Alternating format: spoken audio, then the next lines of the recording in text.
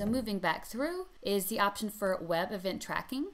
So this is a really great tool to be able to uh, track some customer activity on your website, uh, to be able to know uh, if customers, you know, are visiting certain pages of your site, if they're maybe, you know, abandoning their your the cart, uh, not making those purchases. For example, I've got all of this stuff uh, in my cart, and if I didn't complete this purchase, I could be reminded of that automatically.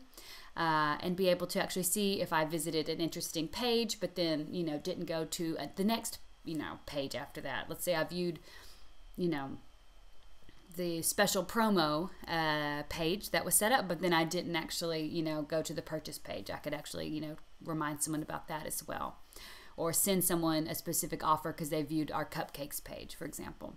So all you need to do is just check this box and click Save Changes, and then we will start be able to track customer activity on your website. But of course, you need to just remember that these people would have to be already on your GetResponse list because uh, we have to have a way to actually be able to you know connect uh, these people and be able to send them messages. They have to already be on your GetResponse in your GetResponse account. So this would be tracking customer activity of those customers who are on your GetResponse list in your GetResponse account, and then the activity that they're uh, making all along your site and the sites they're visiting.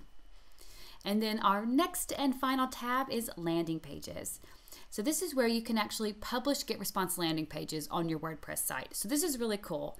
You do not have to code or you know alter your theme uh, to be able to add uh, a page to your site. Because if you've got GetResponse landing pages, you'll see I've got quite a lot of them, but you'd be able to actually, for example, create you know, maybe a holiday offer, a guide, something like that, and be able to uh, automatically have this be within your WordPress domain from within your WordPress account. So what you would do is just set it up, uh, set up your page, create your landing page and GetResponse and save it.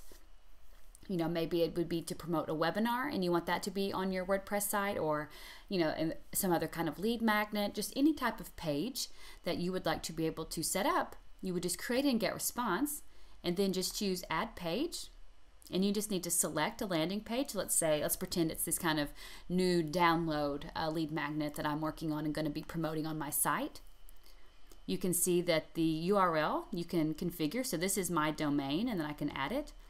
And then whether it's published click save and you can see now this is a part of my wordpress site domain and a page that i can you know disable enable whatever i need to do so now this landing page that I created in GetResponse is now part of my, you know, WordPress site domain. So it's a really cool way to continue building your list and also easily add pages uh, to your WordPress site that you create and GetResponse, which is really cool. Run the A-B tests, all of the features that you actually have within landing pages.